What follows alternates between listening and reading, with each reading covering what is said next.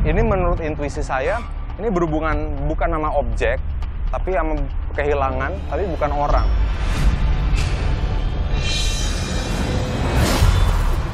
Dan Anda nggak tahu kita mau ngapain? Nggak tahu. Saya nggak ngerekayasa apa pun ya. Betul. Lalu gimana saya bisa tahu kalau sendiri?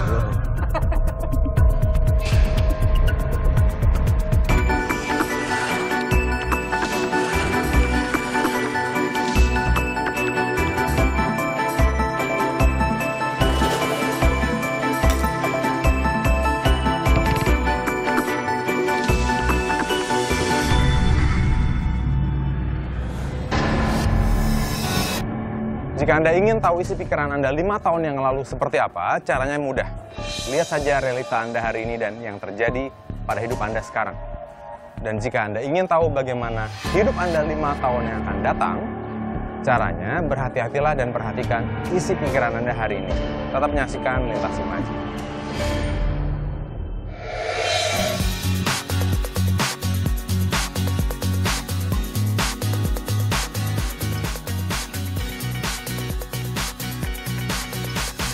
Firza, sekarang saya akan bereksperimen sama Firza. Eh, sebelumnya saya nggak minta Firza pura-pura ya. Siap. Nggak tahu mau ngapain juga kan. Nggak tahu. Eh, ini berhubungan dengan psikologis, Ya.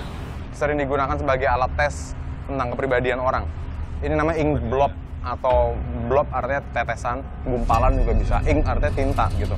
Dikembangkan sama seorang saintis namanya Rorschach.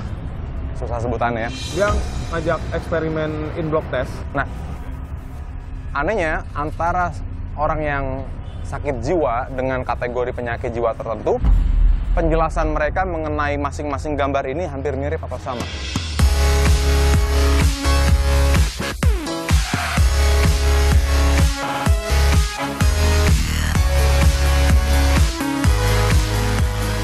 Halo semuanya, Eh, boleh minta waktunya 5-10 menit? Boleh berdiri sini? Permisi, boleh minta waktunya 5 menit? Oke, Boleh berdiri dulu semua? Mas Romi datang, terus kita kita juga lagi ngobrol-ngobrol gitu, terus ternyata, ternyata kaget banget didatengin sama Mas Romi Rafael. Anak mana ini? Psikologi. Anak fakultas psikologi. Kamu? Dari hubungan masyarakat ya. Ih, Hai, bukan Hai. Bukan. Bukan. Namanya siapa? Aji.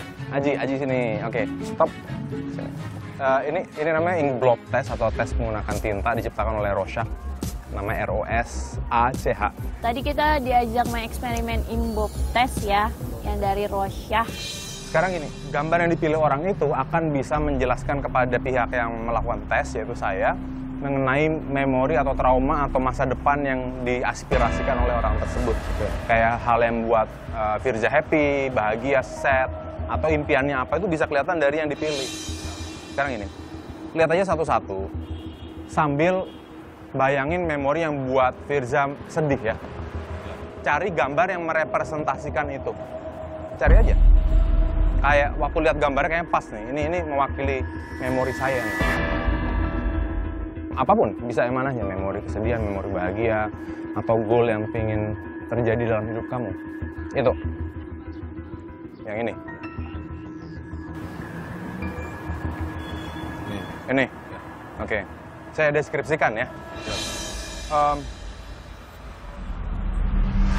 sedih bisa diartikan dari banyak hal. Eh, tidak diperhatikan, lupa atas informasi tertentu atau hari penting. Di gambar ini saya bisa memperkirakan kemungkinan besar sedang terlibat sebuah long distance relationship atau hubungan yang jauh dengan seseorang. Bener?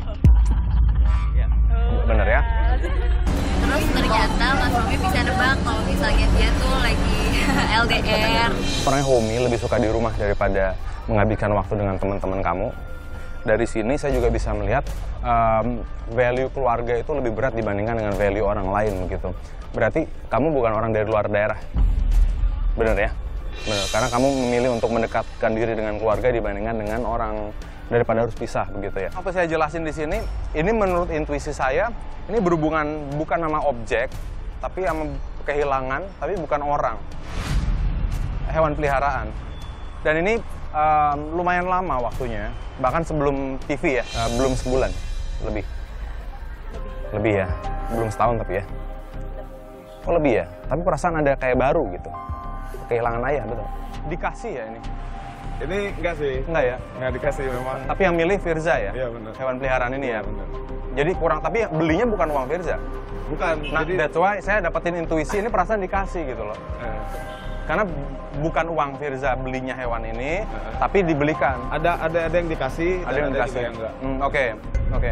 Em, tapi bener ya. eh, Bener, bener. Jauh sebelum Idol ya, Ya. jauh sebelum Firza dikenal lewat TV, betul ya? Bener. Betul. Dan informasi ini nggak tidak dituliskan di mana pun di sosial media, di Twitter nggak dong, Enggak pernah. nggak ada yang tahu. Nggak pernah. Tempat kaget lah, kaget banget awalnya karena memang aku tidak tidak memberitahu dia sedikit pun clue. Em, dari ini, menurut saya ini bukan hewan peliharaan seperti anjing ya, Iya. Em, tapi traumanya cukup kuat. Ya. Bahkan sampai sekarang pun tidak ada yang menggantikan ini. Ini waktu perasaan sedih waktu kehilangan kucing ya bener. Bener.